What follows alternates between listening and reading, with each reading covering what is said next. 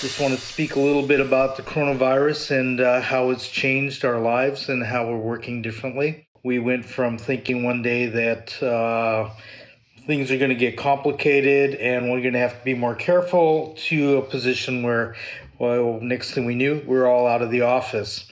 Um, it's been interesting because it's been a time for reflection.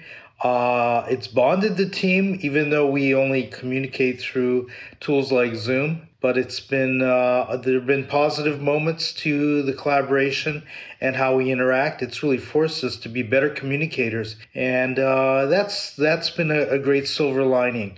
We're hopeful for the future. We're fearful for uh, the loss of life and the harm to people, but we're moving ahead uh, and looking for the positive lining to this all.